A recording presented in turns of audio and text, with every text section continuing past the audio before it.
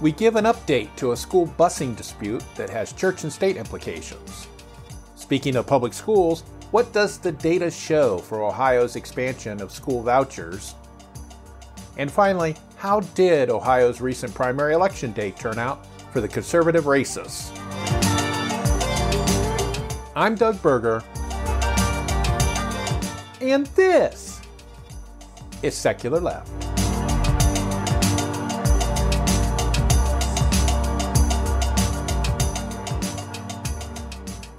Probably at least two years ago, I covered a story. It was a lawsuit that had been filed by a couple of families in the Sylvania School District, which is a suburb of Toledo, um, concerning the bus transportation for their elementary age students or children.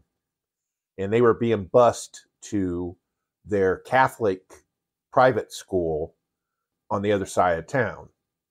And the families were upset because the children had to get on the bus at like six o'clock in the morning, five, or they had to get up at five thirty, and get on the bus. It was very early for somebody in elementary school because usually elementary school kids don't go to school that early, usually. And so they were upset that you know they had tried to work with the school district to get uh, accommodation, uh, better accommodation for their kids. Um, and the reason being because in Ohio, under state law, public school districts are required to transport all school aged children to their schools. And it doesn't go into details about how to do that. But because the school districts get money from the state to not only pay for the buses, but to provide the transportation, that's part of the deal. I don't particularly agree with it, but that's part of the deal. And so Sylvania uh, School District, along with other school districts in the in our state, are having real trouble coming up with drivers, bus drivers, because it, it's a special breed. I'm telling you, um, you don't work the whole day. Um, usually, it's supposed to be retired people. Uh, you have to have a CDL to drive a bus, and you're dealing with all these kids several, you know, a couple of times a day. So, you know, more power to them. I tip my hats to bus drivers because uh, I don't think I'd have the patience to do it. And uh, so, a lot of school districts have been having problems, especially after the pandemic, after the COVID 19 hit. Um, and I think because a lot of the people that would have been bus drivers decided not to do it anymore because of the COVID, or maybe they passed away and they weren't available. And so Sylvania had to redo their bus routing. And come to find out during this lawsuit period that this lawsuit had come out in 2022, come to find out that these uh, Catholic families had actually been getting a special deal from the school district their own their own bus route, which went away because they had to reallocate their resources. So basically, you had uh, little John and Tina uh, Q Public uh, getting on the bus with teenagers uh, going to the high school and dro- being dropped off, and then getting on another bus to go to their Catholic school. And the parents did not want that to happen. One, they didn't think the kids should be getting up that early. And second, they didn't want them riding with teenagers, ew, teenagers, whatever. And and they thought that the school district should do something different so that they would take them from their house to directly to the school. And the and the school district was like, you know, we can't do that. So they fought. So the parents filed a lawsuit in, in uh, Lucas County uh, Common Pleas Court, I believe it was. And in the initial ruling, um, the judge that they got agreed that the kids had were getting up too early, which she made that decision without any evidence that that it was bad for kids or anything like that, and ordered the school and the parents to work on a on a plan, and that didn't happen. So they wanted to continue the lawsuit. Well, the school district decided, Well, it, it, and the other part of the lawsuit, besides the kids getting up too early, riding with teenagers, ew, and was that they claimed that it violated their First Amendment rights to freedom of religion because they were being treated differently than than other uh, people that were not Catholic, or I guess, or not that weren't religious, or something like that. And so, you know, they were going to continue the lawsuit, and the school district decided to request that it be moved to federal court because it was dealing with First Amendment issues. And anytime you deal with civil rights, uh, usually you want to move it to a federal court. Well, I guess the parents decided, hey, you know, that's going to be dangerous for us because we might get a bad ruling. So they dropped their lawsuit.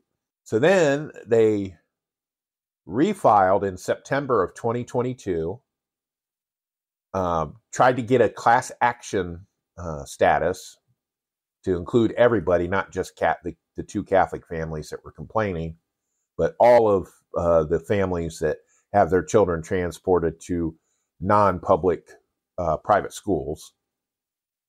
And, but then they still included uh, religious freedom questions, but they applied it to the Ohio Constitution, which has a little bit more strict uh, religious freedom uh, clause in the con- in the Ohio Constitution.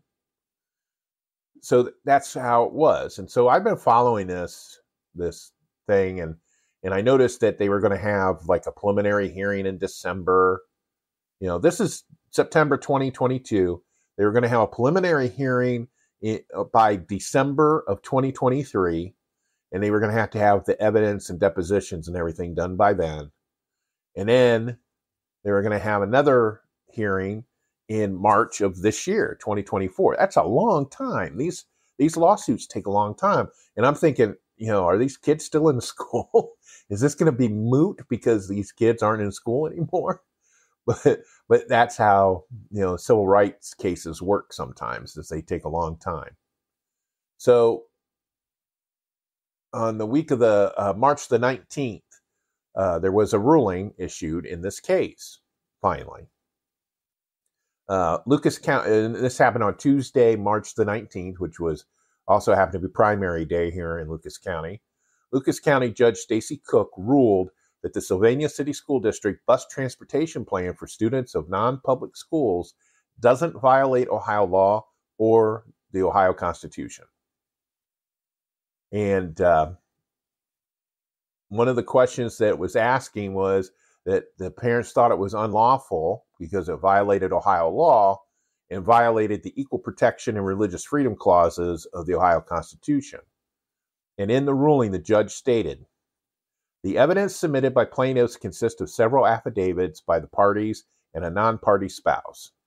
These affidavits recite that they choose Catholic education because of their personal Catholic faith the affidavits also recite the various inconveniences the plaintiffs and their children face because of the district's transportation scheme.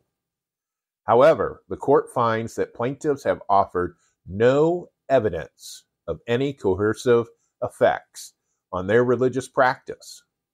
There is no evidence that the transportation plan has compelled plaintiffs to do anything forbidden by their religion or that it was ca- that has caused them to refrain from doing something required by their religion. Plaintiffs have also not offered any evidence that the transportation plan has compelled them to affirm or disavow a belief forbidden or required by their religion. Accordingly, the court finds that plaintiffs have failed to demonstrate any coercive effect upon their religious practice. The plaintiffs have therefore failed to show that defendants' transportation plan violates their right to free exercise of religion under the Ohio Constitution. And so, and that, that's when when I started initially talking about it. You know, that is one of the arguments, rebuttals that I made. Is just because a little kid has to get up at five thirty in the morning and ride a bus with teenagers, ew, and get dropped off at a at a central location, get on another bus, and go to their school doesn't keep them from being Catholic, doesn't prevent them from uh, practicing their Catholic faith. You know, it would be different if they had to attend a uh, evangelical Christian church service before they could be taken to their school. Then you would have a problem. But because the judge found and the evidence also showed that it did not you know keep them from from being religious then it did not violate their relig- their free exercise of religion you know and that's what a lot of these uh, uh, some of these uh, uh conservatives think is that anything that affects their their uh, church going or their praying or something is, is is denying them their right to free exercise.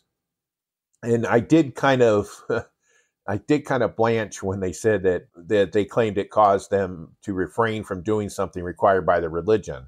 And that gets into the whole you know the website having website for same-sex marriages and that's supporting same-sex marriage and that's against my religion. I disagree with that kind of reasoning but I can agree with this reasoning that the judge came up with.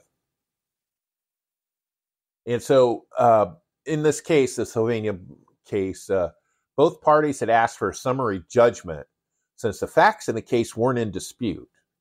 You know, the school was saying, yes, we have to transport these kids, and the family was like, yes, they're trans doing all this stuff. So, usually that makes the case easier because then a judge can rule based on the uh, the documentation that they get and the depositions and all that. And it says in the original lawsuit, the families asked the court for an injunction to order the school to quote fix unquote the transportation plan. Judge Cook said the court couldn't do that. It could only rule if the district's act was lawful and not unconstitutional. Now, it's kind of a semantic thing, but uh, if Judge Cook had ruled that the plan was unlawful and unconstitutional, then they would order the school to correct it.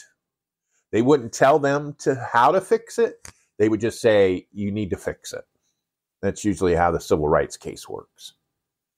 Um, one of the ideas that the families had suggested was that the school district not transport high school kids to free up buses to transport their kids to their directly to their private school.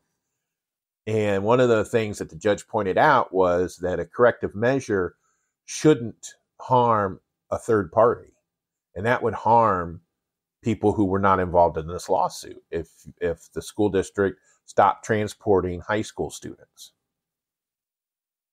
Um, the and as I mentioned before, the original lawsuit was dismissed by the parents on August 30th, 2022. They refiled September 16th, asked for class action status, and uh, the as the judge noted in the ruling today uh, this this month that the class action was never certified. So they'd ask for class action. I don't know what the process is for that. I think you have to go and find people and they have to sign on to it and go to the judge and the judge says yes this is class action. They never went through that part. Now, what's also interesting is a lawyer for the family had been a party to the original lawsuit, the one that was dismissed in August of 2022. But because they wanted that guy to be the lawyer to, to for the families, he had to drop out of the lawsuit. So so instead of him being on there with his his wife, and I'm assuming that because they said it was a non-party well, non-party parent, but but he's the lawyer and he's a Perrysburg lawyer that has TV commercials occasionally, and so he dropped off the lawsuit, and so they interviewed him in the newspaper uh, article about it, and they said that they were probably going to appeal the ruling. And so this is a very interesting case, and it's a church and state case, and and one that was properly decided this time. And so I just wanted to give everybody a um, update on the case. For more information about any of the topics covered in this episode, Check out our show notes at secularleft.us.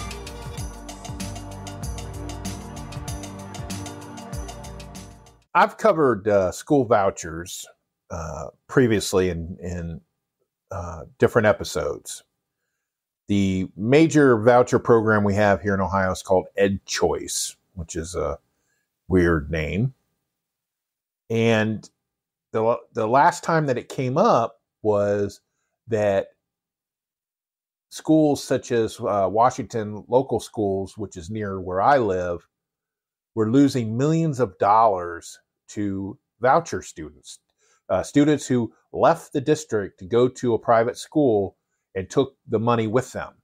Because at the time, I don't know if this might, uh, this is not the case now, but at the time, the ed- education dollars that the state would provide per student, that's how usually the schools are funded in the state is the state money goes to school districts on a per student basis. Uh, some are a few thousand dollars. Uh, some of the higher end income um, suburban school districts, they're like eight or nine thousand dollars per student. And so this is money that is allocated based on student population. So if a student left a school, a public school district to go to a private school, that money would leave the public school uh, and be used for the voucher to give to the private school. And so a lot of these uh, school districts that are already uh, uh financially on, on the edge because of the underfunding by the state and and uh, property having to depend on property taxes for funding, they couldn't afford to lose this kind of money. So they complained and there was a fix that was done to prevent that. And I think when they decided to expand the voucher program and make it a universal voucher program, they made sure that the public school wasn't going to lose money. So, what's the problem then, Doug? Why do you hate vouchers? If the schools are not going to lose money, how come you hate vouchers? The premise of, of a school voucher at least if you listen to the conservatives that support it or or other people that support voucher programs is that you're trying to help children in uh, broken public schools, typically urban public schools, to get out of that broken system and into a private school where the education opportunities are going to be better. The theory being that if their education opportunities are better and they learn, then they'll be less likely to be a burden on the system when they become adults. It's a good premise. That's not the only reason why people support vouchers, but that's what they tell people to try to get get uh, voting support for it. It's still transferring money that could be better spent to fix any broken public schools or to properly fund the public schools that we have than to give it to third party private schools that aren't under the same oversight that public schools are because public schools have a large oversight apparatus because you have your local school boards that are elected by voters they watch the schools. Then you have the state because they set curriculum and policies and things like that. They watch it because they're giving you state money, so they have they have a say. These private schools, they don't have any of that. Oh, in teachers unions, you have unions that also operate in public schools so that that teachers are treated fairly and paid adequately. You don't have any of that in a private school system and it's not required. And so you're transferring public tax dollars from from an entity that is has a lot of oversight by the voter to one that does not have any. And uh, and this has happened before. We had this uh, this online school system called uh, ECOT, and they sucked up millions of state tax dollars and had nothing to show for it and people went to uh, i believe people went to jail because of the corruption because these people that were running this online school would take the money but they had no student, you know, they couldn't justify the what kind of money that they were spending.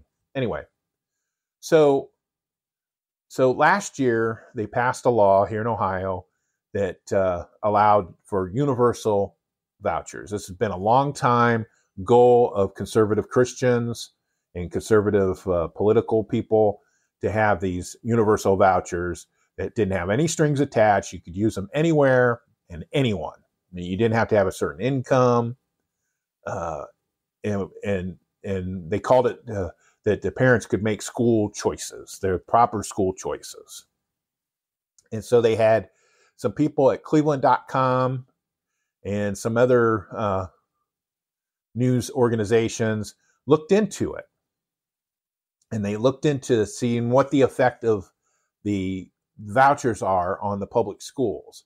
And so what they thought that they would see would be a huge increase in the use of vouchers, and then they would see a sizable reduction in uh, population, student populations in the public schools, as the people that get the vouchers then would move to private schools.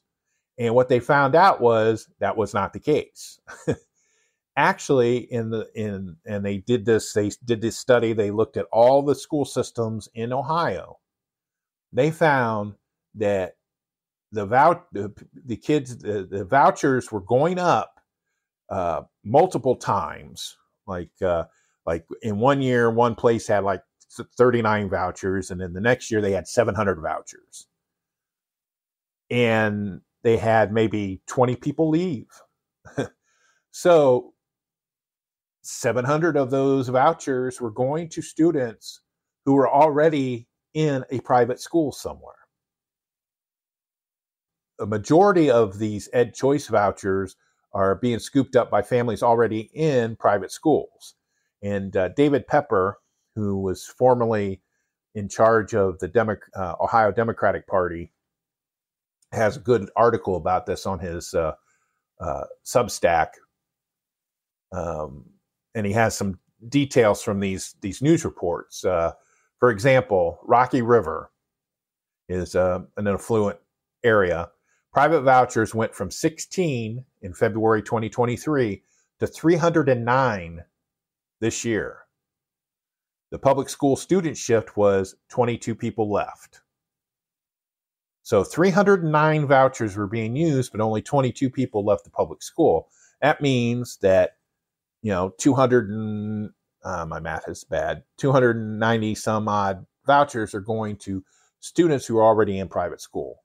Um, Bay Village vouchers went from 13 to 229. Public school student shift was uh, 30 people left. All right. Now, here you go. This is going to give you an example. Strongsville, which is a, a, another affluent area, vouchers went from 61 to 791 vouchers.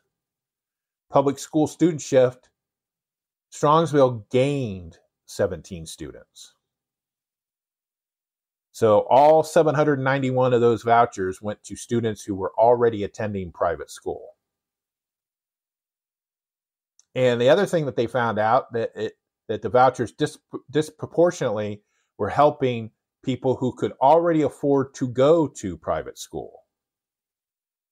Um, the median income in the state's median income is $41,132.59. And some of these communities that were having these increased uh, voucher uses boasted more than twice the median income.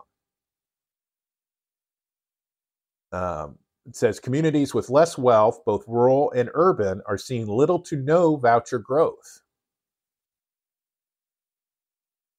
So, uh, St- uh, David Pepper also put in some information from Steve Dyer, who analyzed the data. Said uh, more new voucher recipients come from families making more than $150,000 a year than families making less than $120,000 a year. There are more new vouchers flowing to subsidize private high school students whose families make as much as $250,000 a year or more than there are flowing to subsidize private high school students whose family make less than half that much. And an astounding $1.3 million of your tax dollars went to subsidize the private school tuitions of families who make more than $250,000 a year. On the regular Ed Choice voucher, 242 million of the 272 million sent out to subsidize private school tuition went to families in the highest income brackets. That's nearly 9 out of every $10 going to subsidize private school tuitions to uh, subsidize families who could already afford to send their kids to private schools. Of the 32,236 new applications for EdChoice expansion, uh, which used to be called the income based voucher but isn't anymore, uh, a stunning 28,238 went to white students, nearly 9 in 10. Of the 44,839 new vouchers issued this year in all five voucher programs, 33,874 went to white students, about three of every four. Finally, of those small percentage students who that did use a voucher to actually switch from public to private, the data has been clear that their scores actually fell precipitously. They are being subsidized to go to worse schools. And so that is why some uh, rural uh, Republicans in Georgia joined with Democrats in shooting down universal vouchers in Georgia because it wasn't going to help the rural communities that need help. And then so Cleveland.com featured the story on the top of the front page when it first came out. And they wrote an editorial. Uh, that uh, Pepper quotes uh, lacking uh, conscious, targeted efforts to make sure low income Ohioans and poor performing schools primarily benefited, Ohio's Ed Choice expansion, as implemented, was not the school choice program state house leaders promised. The data suggest instead it became a big taxpayer subsidies for those students already in private schools. That should outrage every Ohio taxpayer and every parent of students in struggling districts who were supposed to benefit. The editorial board then called on Ohio's legislature to be true to its stated school choice motive, to rewrite the rules to guarantee that this money goes to children in underperforming schools, possibly relying on state report cards to set the standard. And then Pepper makes the choice, uh, makes the comment that the corrupt and gerrymandered Ohio legislature is being true to its actual goals. It is achieving exactly what it is intending. Many of them say this as directly. So, of course, they're not going to rewrite the rules. Rules, non rules, are accomplishing their clear intent. And, and I agree with it because that was the whole intent was for these rich people to have the state subsidize their kids' private school tuition. So that's just one more thing that they don't have to pay for. They don't have to pay uh, their their proper taxes, and now they don't have to pay for their, ed- their kids' education. And I think that uh, that does a disservice to everyone here in the state of Ohio. This is Doug. While we take a short break between segments, I wanted to let you know about another way to get content from Secular Left. I started a Substack. It will be a place to jot down some quick thoughts about something going on in the news or about some kind of political issue that may or may not show up in an episode of the podcast.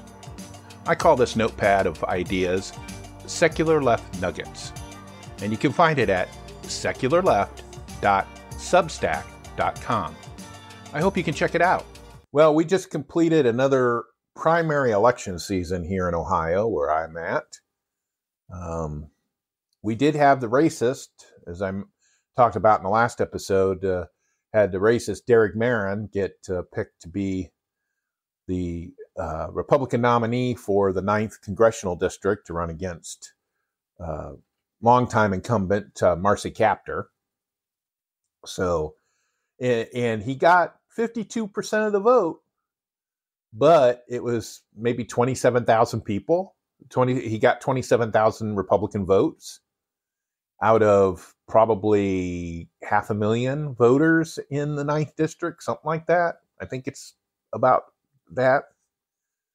So, so yeah, he got 52% of the vote, but it's a small thing. And I have, you know, I have to tell people that sometimes just to walk them back from the ledge, you know, because, you know, we had this, uh, in, in a uh, previous segment, I talked about free speech at city council and school board meetings, and and some of my progressive friends freak out about these people and thinking, "Oh my gosh, you know, people are trying to take over the school board and everything." And I have to keep talking them back from the ledge, and I have to keep telling them, I said, "This is just a small subset of conservative people. This is like less than ten percent of the population are extremist enough to want to ban books and take over uh, school boards, they are the most vocal and the most active. So, I mean, they're dangerous and we need to keep an eye out on them. But it's not, you know, the, the planet's not falling apart, put it that way. So then on the other side, on the left side, my some of my progressive friends, you know, as we as we're moving into the general election, because uh, Trump, for whatever reason, uh, well, well, we know the reason grift and and other shenanigans is going to be the most likely be the Republican nominee for president. He's got enough delegates, and unless he's in prison, he's probably going to be campaigning this fall for the presidency. So, and then uh, President Biden more or less has enough delegates now that he's probably going to be the nominee on the Democratic side. And so as we're moving into the the period where we're starting the general election period, where we're going to see a lot more campaigning and and then you're going to have the conventions this summer and then more campaigning. I has uh, quite a few of my con- progressive friends are very upset with Joe Biden. And the reason why they're they're upset with Joe Biden is because of how he's been handling uh, the whole uh, Israeli genocide of Gaza in retaliation for the Hamas terrorist attack on October the 7th. And the need for an immediate ceasefire and and uh, the U.S. needs to stop giving Israel's we- weapons to kill Palestinians, which is pretty much points that I agree with. And but my progressive friends have taken it one step further. And, and then there's like two or three of them so far, and I'm sure there's probably a lot more that are saying that they're probably not going to vote for Biden in November because of that. During the Michigan primary earlier this year, we had uh, Rashida uh, uh Tlaib, who represents the 12th uh, congressional district in Michigan, um, she had promoted the uh, um, voting instead of voting for Biden in the in the primary to vote uncommitted to send a message. Uh, Ohio doesn't have something like that. That's just something unique to Michigan, or some other states might have had that too. And the uncommitted got like 17,000 votes or something like that. I don't know how much of a message that sent. But anyway, so that's some of the reaction. But then like I said, some of my progressive friends are saying that they're probably not going to vote for Biden.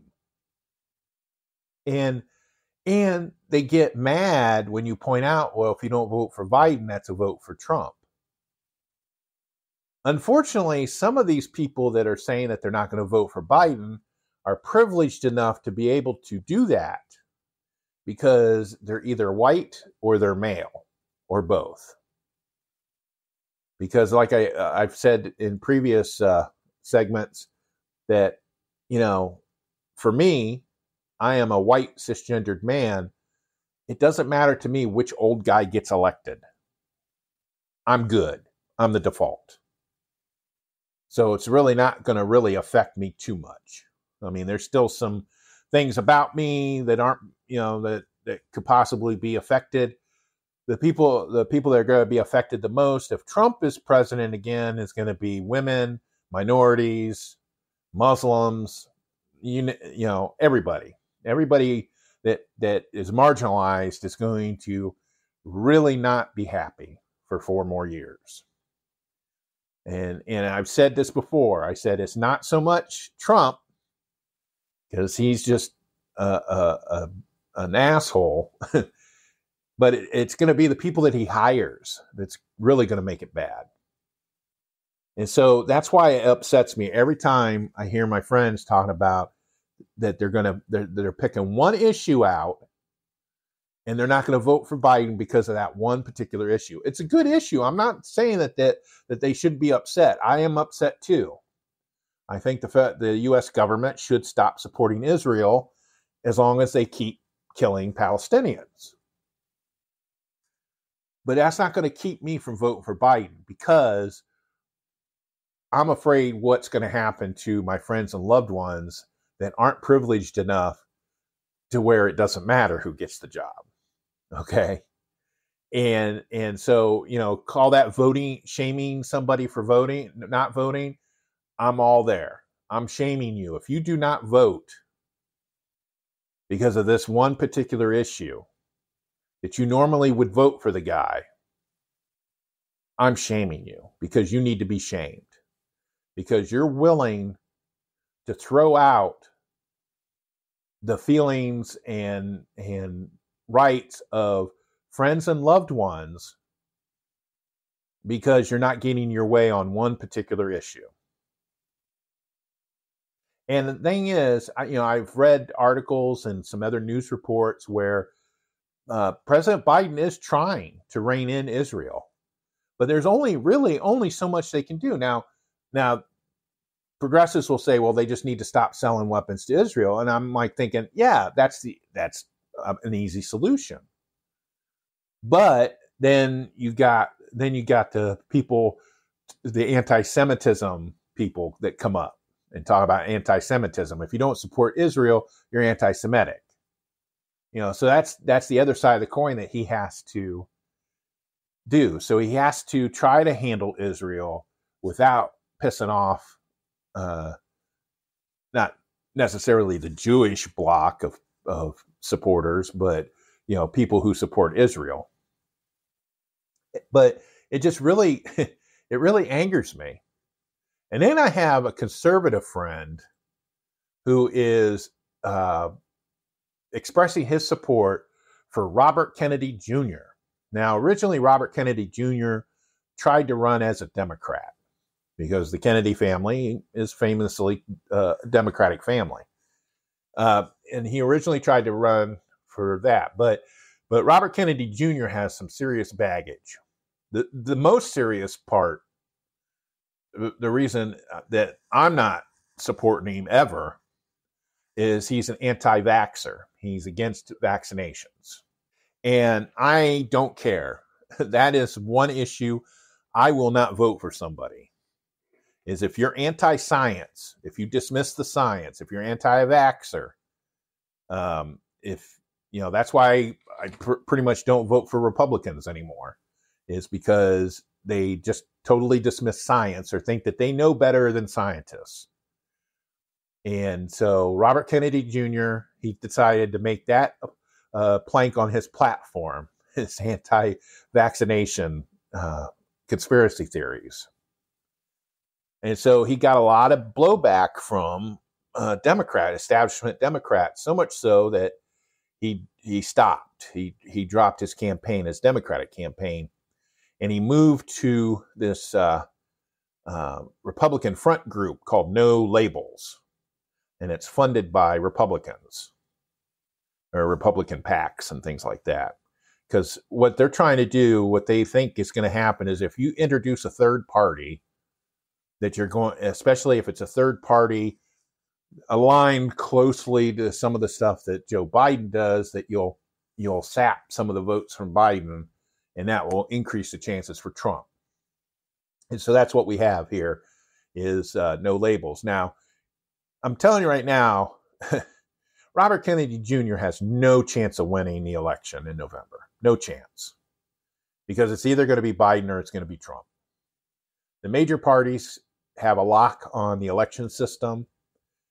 Um, there's only been a few third party candidates that have even made inroads. You know, we had John Anderson in 1980 who messed up uh, Jimmy Carter real bad, even though Jimmy Carter kind of messed himself up quite a bit in his reelection bid, but John Anderson didn't help. And then, of course, then we had Ross Perot, who ran a couple of uh, elections.